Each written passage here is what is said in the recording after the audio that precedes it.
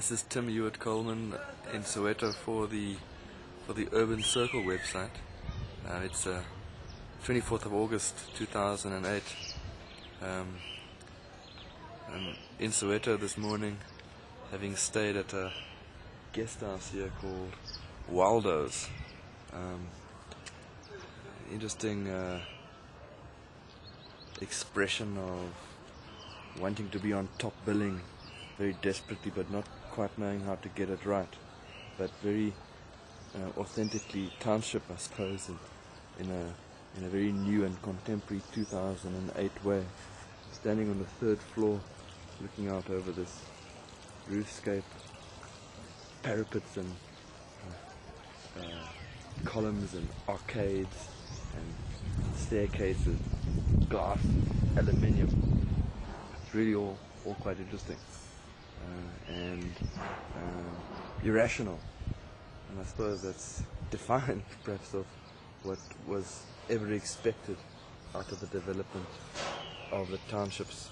And Soweto being the kind of the, uh, the township of all townships. You know, uh, all townships in South Africa are this urban phenomenon that we've got to deal with in some way. Um, but it's a phenomenon that's made up out of other things. People focus on the townships as being, well, this phenomenon that's created out of the desire to create uh, racially segregated neighborhoods. But the other real phenomenon is that it's uh, just this continuous urban sprawl. It's uh, um, illegible, irrational, hard to find your way around. Everybody here drives around with a map book or a GPS. No one can find anything. But the other part of what's important to know is that these townships, uh, Soweto and all other townships in South Africa, are a planning mistake or a design error or a, or a problem that comes out of apartheid thinking. But um, this is not a painting where you can paint over it with white paint and start again. Uh, this is not a sculpture where you can uh, pound the clay back into a lump and then start molding it again. It's a city.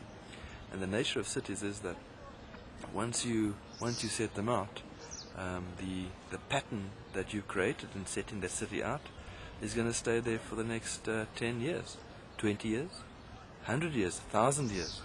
How how old is the the the, the fundamental layout of, of, of Rome or London?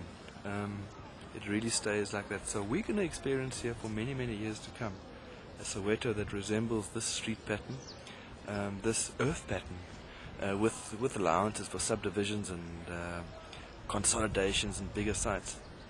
So let's focus on what is good and what is bad here. What is bad is all the things that's bad about sprawling cities.